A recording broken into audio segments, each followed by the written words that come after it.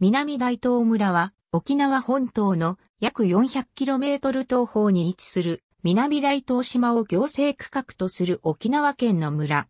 島尻郡に属する。海村以来砂糖きびの生産が村の中心的産業である。近年航空機の大型化などで観光客が容易に訪れることが可能になり、豊かな自然を生かした観光地としても注目されてきている。南大東島地理を参照。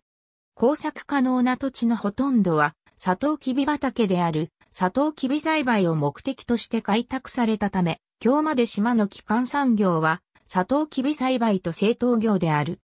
1984年までは、大東東業によるサトウキビ輸送のための専用鉄道も存在した。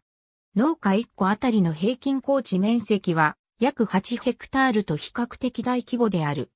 また、この大規模なサトウキビ農業に支えられていることもあって、村民の平均所得は、隣の北大東村と並んで、県内では上位に位置している。漁港が整備されるまでは、漁業はほとんど行われていなかったが、近年の漁港の整備と航空機材の大型化で販路が開拓されたため、マグロやカジキ等の漁業の拠点として注目されつつある。宿泊施設の一例宿泊施設は小規模なホテルと民宿が計算圏あり、空港や港への送迎のほか、レンタカーの営業も行っている。このほか、西港を見下ろす高台にバンガローを備えたキャンプ場もある。人口の割に居酒屋や娯楽施設が多く、ビリヤード場やカラオケボックスなどもある。15歳から18歳の人口が極端に少ないのは村内に高等学校が存在しないため、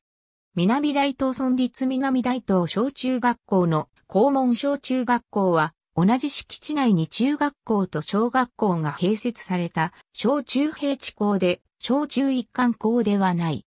なお、南大東村内には高等学校がないため、進学する卒業生は島を離れることになる。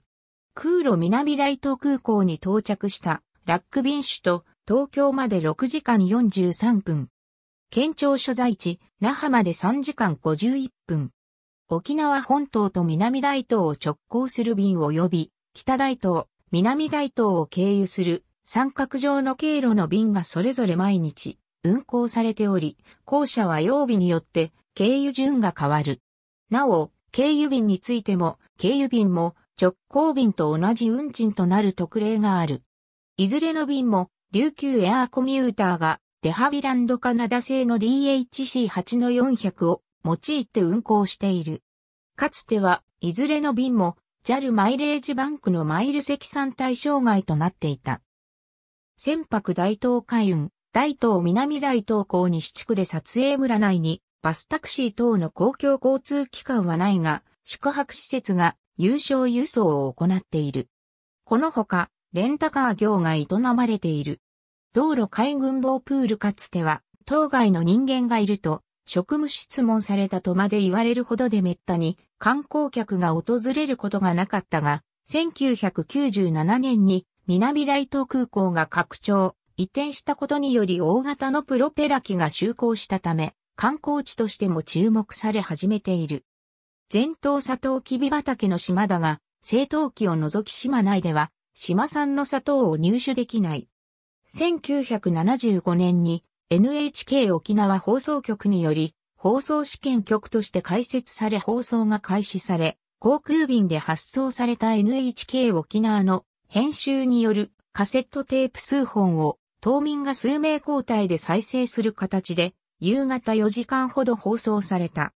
1984年5月、衛星放送の実験放送が開始されたことから、ようやく他地域との同時放送が実現した。また、この日から全国の天気予報では、南大東島の予報が表示されるようになった。しかしテレビ放送が NHK の BS のみ、さらにケーブルテレビも未整備であることから、沖縄県内のローカルニュースや民放の番組が放送されないため、沖縄本島でビデオ録画された番組をレンタルビデオとして貸し出す店もあったという。1998年、東京都が小笠原諸島向けに送信、利用されている通信衛星を利用した放送が開始された。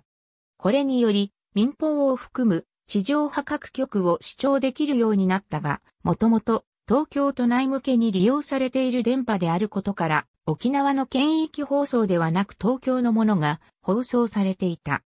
なお、沖縄県内の情報は電話回線により伝送され、随時字幕で表示される。沖縄県では2006年から開始されている地上デジタル放送では沖縄本島から海底ケーブルが付設され NHK、沖縄民放3局ともに2011年7月、初旬に試験放送開始、アナログ放送完全終了2日前の2011年7月22日に開局した。